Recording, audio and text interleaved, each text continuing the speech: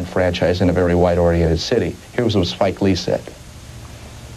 He's a great ball player. I just feel that he, uh, him and the Celtics, to me, they represent a lot of times white supremacy. There's no mistake that the Celtics are, have always been recently the whitest team no doubt. in the league. Historically, and, and, it's, it's chronicled, and, and, yeah. and Auerbach, you know, that's, you know, that's what they want. You know, I, several times I go up to Boston Garden, and it's like being in Birmingham or Selma during the 1950s. I mean, the hair on my neck standing in, and, and the only black people there, the, the kids selling popcorn, uh-huh. beer, or the, or the players' wives or girlfriends.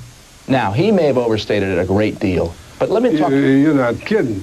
he better. He does. He does what he does good. He better stick to it. Let me talk about perception, though. This is not my quotes. These are direct. Paul Silas, one of your favorite players. The Celtics haven't been aware enough in community relations in the black community. Dave Cowens, you not only have racial barriers in Boston, you have ethnic barriers. Everybody is uh, separated too much. Patrick Ewing grew up in Cambridge, became a 76ers fan. Would you agree that the Celtics needed to do, maybe need to do, a better job in terms of getting themselves involved in the inner city? I think that's totally overstated.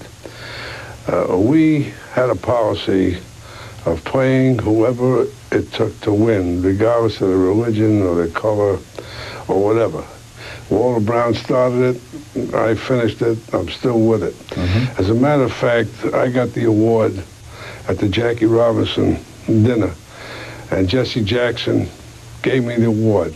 And I told him, what, what kind of year do I get the award? I got eight white players. I, I, said, I said, but I, I want you to know, you know how I feel. And he, he said, sure. He understands. One year you got eight white players, next year you got four, next year you got three. It doesn't make any difference. Yeah. We're out of time in this segment. We'll come back with some more with Red after this.